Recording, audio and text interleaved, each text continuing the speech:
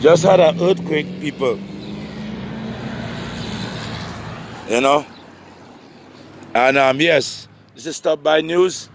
You know, just had an earthquake and it's one of the most funniest earthquake I ever see in my life. It's well I never really had so much earthquake, so I don't let me don't talk like I did. But the earthquake was like a merry-go-round. You know. I don't know if you felt it when you were walking, but if you were standing, this is what happened to me. I said, well, damn. I probably should not smoke that. I, should, I, I probably should not smoke that weed. You know? But I'm about to get something because, man, I'm feeling to eat something, you know? And I'm thinking, like, okay, you really need to eat something, man, because you're going around in a circle. And I'm like, whoa, whoa, let me walk out and see if this is really happening because once you walk in, you will know if you're really dizzy. Did you feel the, the earthquake in your car? I was going around, I thought it was hungriness. okay. Oh yeah, you only hearing that cough. Okay, that cough is because it's a cold. I'm getting over still. We're, we're, we're trying to catch me. But anyway, this is crazy to see yourself going around in a circle. Did you feel the earthquake? Did you feel the earthquake a while ago? Or she didn't? You know, anyway, I'm gonna stop asking certain people. Certain people when you look at the face, they just look like the like they're vexed. is Thursday. Or they vexed because they're alive. Or they vexed because, you know, and vex mean they are mad. That's the word we all use mostly. And you rise in the morning, you have to give thanks for that.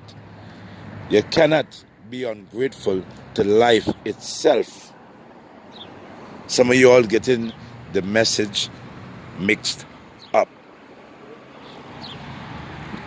Do not take for a second or think for a second or a millisecond or whatever, half hour you want to call it, or for granted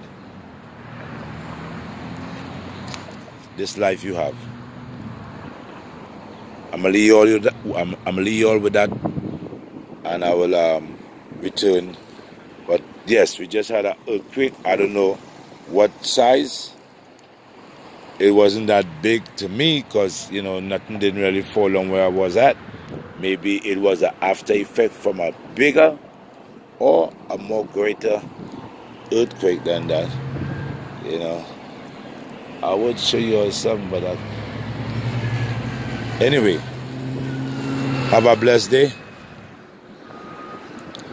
You wake up in the morning, you won the lotto.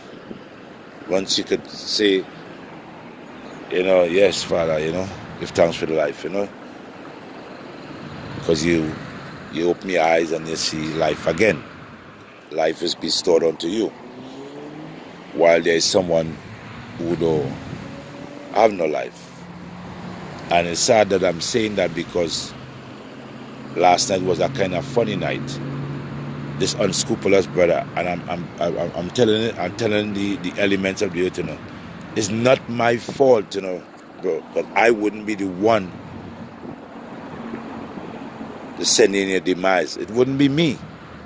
It would be because of it would be because of you and your fucking unscrupulous actions towards somebody who was humble and uh, didn't do one fucking thing to you, bro. So remember, you know, there's two things will happen to you. You will go to prison sooner than you thought and your life will be taken away from you in certain ways, or going to find yourself dead somewhere.